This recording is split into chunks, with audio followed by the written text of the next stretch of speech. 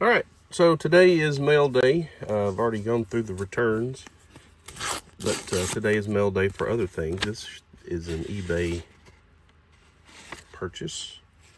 Um, Mr. Steve Kline. I purchased this on eBay from another TTMer.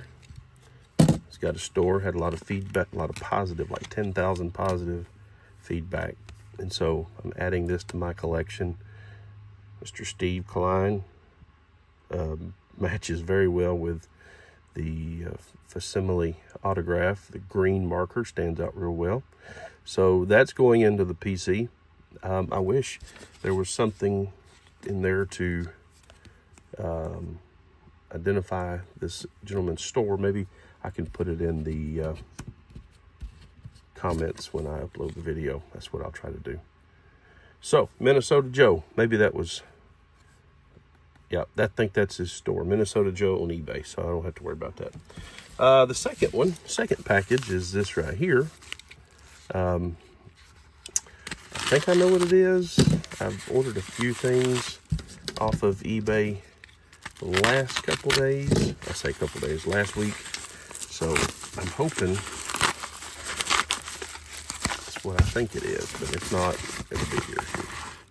Okay, so, yeah, Mr. Jim Abbott, rookie, 1990 Topps. Actually, I think that's the second year. I'm not sure. I'll have to check into it. Uh, regardless, it's PSA 9. Jim Abbott is one of my favorite, was one of my favorite players um, because of what he was able to do with uh, his disability. Didn't hold him back.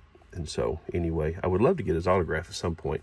I may have to pick it up off eBay, but um, there it is. Mr. Jim Abbott, PSA 9, and a 1971 Topps Steve Kline from Minnesota Joe.